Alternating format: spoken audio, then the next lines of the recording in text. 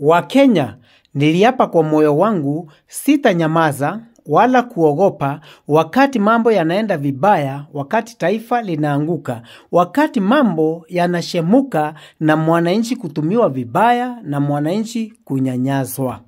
Naomba Wakenya mnisikize kwa makini na munielewe. Deputy President Rigathi Gachagua ako na roho ya kiburi, ako na roho ya kunyanyaza wananchi wa Kenya, na ako na roho ya ujinga, na ako na roho ya kutaka kusaliti watu wa Mlima Kenya, watu wa kabila yake ya Wakikuyu. Wewe Rigathi Gachagua umekuwa msaliti kama Judas. Unataka kusaliti familia ya Wakikuyu, unataka kusaliti watu wa Mlima Kenya. Wachana na Maina Jenga. Maina Jenga ana makosa. ingetaka Wakenya wote wakujue wewe Rigathi Gachagua ni msaliti. Maina Jenga hana makosa yoyote. Ni wewe unamshimbia mashimo kama vile umekuwa ukishimbia Uhuru Muigai Kenyatta retired president mashimo. Wewe unataka kuwa kingpin wa Wakikuyu kwa lazima, na ndio maana una plan hata vile Maina Jenga anaweza kuawa ndio asikuopos kwa sababu unajua Wakikuyu wengi vijana na wazee huwa wanamzikiza. Rigathi Gachagua, uko na roho ya kiburi uko na roho ya kusaliti Wakikuyu. Kwa nini unataka kutawala Wakikuyu ukipitia mlango wa nyuma? Wakikuyu wanakuelewa. Maina Jenga hana makosa hata kidogo. Rigathi Gachagua, nataka unisikize na masikio yako yote mawili. Mimi sikuogopi, lazima nikuambie ukweli, na ukijua ukweli, ukweli utakuweka huru. Wewe si mtu mzuri, wewe unashimbia Njenga mashimo unakuonea mbali na tunakuelewa. Unataka kutumia mpango wa divide the rule ili kugawanya Wakikuyu ili uweze kuwatawala, lakini nataka kuambia Rigathi Gachagua, mali unaelekeza Wakikuyu, unataka kutafutia watoto wa Kikuyu, wasee na vijana na wamama mauaji. Wewe unapanga mauaji katika mlima Kenya na unalenga Maina Jenga na viongozi wale unaona wako na nguvu kama Martha Karua, kama Mwangi wa Iria na wengine wale unaona wanaangalia masilahi ya Wakikuyu, wanaangalia masilahi ya mlima Kenya, na tena wanaunganisha watu wa mlima Kenya na makabila mengine, kwa sababu Kenya ni moja, hatuwezi kukaa tumegawanywa. Na kwa sababu ya roho yako chafu na kiburi, Rigathi Gachagua, ningiomba ningiomba sheria itumike kuchunguza katika mitandao ya Safaricom na akaunti za bank ni nani alikuwa sapota mkuu wa Mackenzie na Ezekiel, kwa sababu huyu bibi yako ni mmoja amesupport hawa wachungaji na mapasta na mabishop wa cults ambao wamesababisha masaka na mauaji ya Shaka Hola na hiyo habari sio ziri na siogopi nikisema, kwa sababu bibi yako tulimuona Kasarani, na huyu bibi yako Rigathi Gachagua, Wakenya wanajua ndiye alitumika kuinvite hawa wachungaji mikora ambao wamesababisha masaka na mauaji ya ajabu sana pale Shakahola. Watu wanajua kwa sababu umetembea nao sana, na pia hata ukamuingiza First Lady Rachel Ruto kuungana na hawa wachungaji. Wakenya wanawaangalia na macho mawili, wanawajua tena. Wakenya wanawaelewa, nyinyi ni mumbwa mwitu, mumevaa ngozi ya kondoo. Ee, ala Rigathi Gachagua, stop nonsense. Wacha kukaa ukithireteni Maina Jenga, wacha kukaa ukiusia Maina Jenga uoga. Maina Jenga si muoga, na Wakikuyu na Wameru na makabila mengine ya Kenya yanakuelewa, unamudhreten na ndio Maina aogope, anyamase kusema ukweli. Wewe unakaa ukiita Wakikuyu mungiki, vijana wa Kikuyu mungiki. Saizi nataka utueleze, manake kuna kanisa lilichomwa kule Rift Valley kule Erodoret. Wale walichoma hiyo kanisa, tungetaka wachunguswe tujue jina lao, kwa sababu sio Mongeki, walikuwa pia wanashambulia watu wetu wa mulima Kenya. Rigathi Gachagua, ningetaka uelewe, wakati Kenya iliingia katika vita vya ukabila wakati wa uchaguzi wa 2007 kila kabila ilikuwa na mwongeke yao. Kwanza Wakalijini walikuwa na mwongeke yao, hata kama haikuitwa Mongiki kama Mongiki ya Gema, yaani ya Mauti Kenya, ya Embu, wa Kikuyu na Wameru.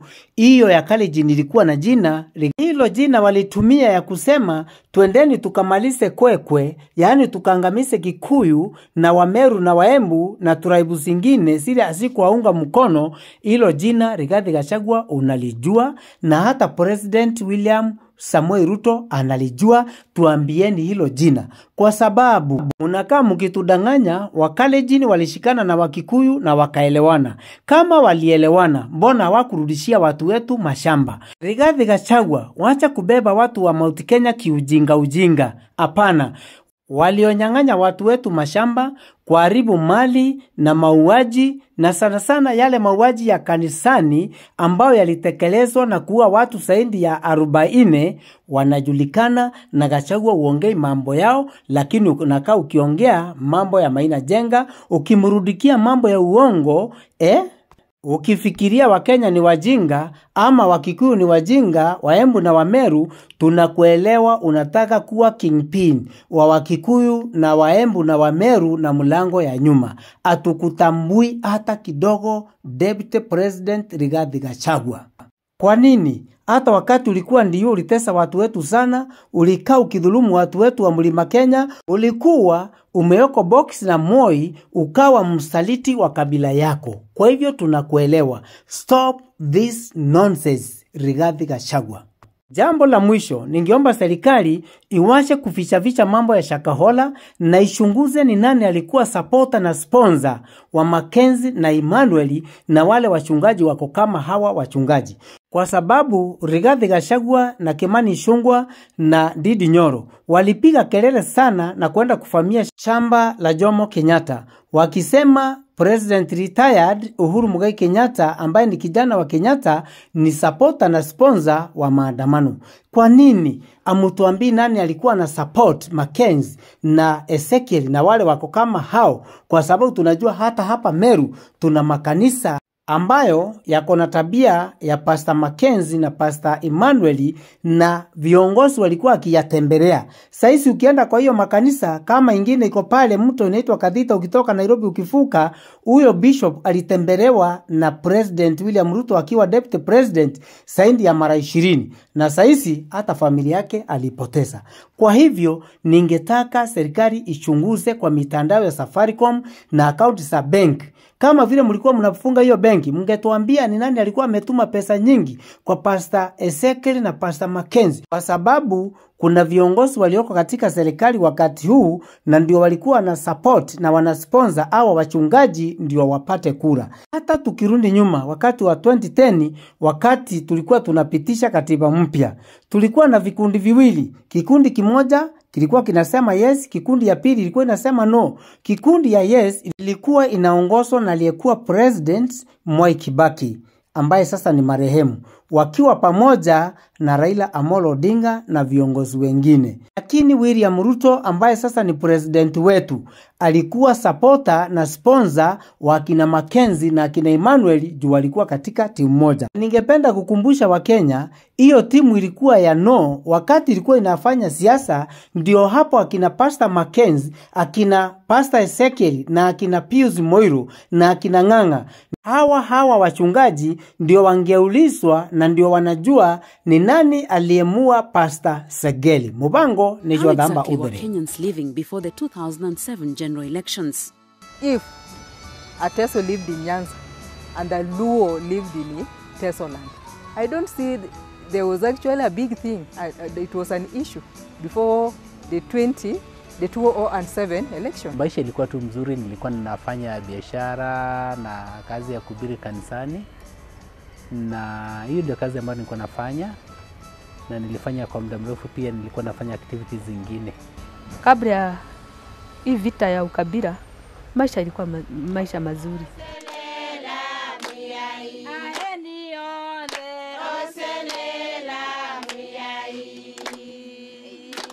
Young and old were up to exercise their rights by voting for their political leaders. Ah, mi nilipiga kura kama kawaida tu. Ilikuwa mara yangu ya kwanza tangu nizaliwa kwa hii dunia. Hii ndio ilikuwa mara yangu first mi kupiga kura. Nasikia.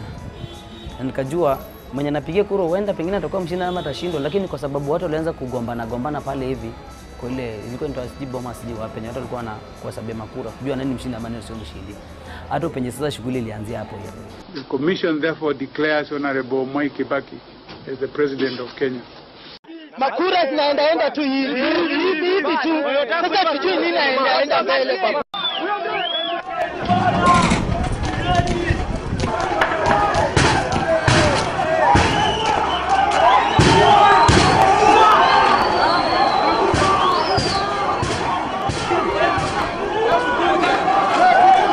What followed the announcements of the presidential results were screams, gunshots, and flames, people running helter skelter. And yes, it was no longer business as usual. The violence was raging very fast from the north to the south, from east to west, and up to the coast. Every corner of the country was all tension.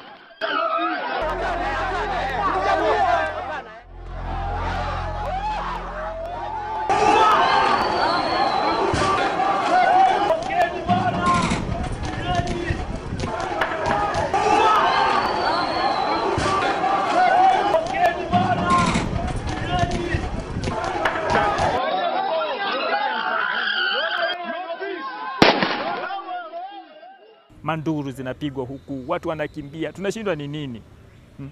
Kidogo ma-GSU walikuwa wamejaa town hapa hapa, kila mahali ilikuwa ni polisi. Sasa vijana walianza kupiga manduru kidogo, wakaanza kublock manjia kila mahali, hakuna mahali pa kupitia. Kidogo tunaanza kusikia matia gas wanafyatua huku na huko, watu wanapiga nduru, watu wanakimbia. Mambo ilikuwa ngumu sana. Kufikia masaa saa nane usiku ndio tulisikia nduru. Niambia, unasikilia wapi? Baada kidogo sasa tukasikia nduru imezidi, mikali sana. Basi tukaamuka, tukaamuka, tukaasha taa, tukatoka nje. Hata tu kuasha taa, tukatoka nje. Eh, mume wangu akasema kume, inaonekana kumeharibika. Sasa ndio mambo ikawa mbaya, majirani wakaanza kuitana. Sasa mambo imekuwa ngumu, sijui tufanye nini, tutorokee wapi? Oh my God, si wakatoka hapo kwa geti tu kuangalia, kumbe wao watu wameshakuja wamezingira na hatuna habari. Ndio mume wangu hapo alipata hiyo shida na akawa hivyo.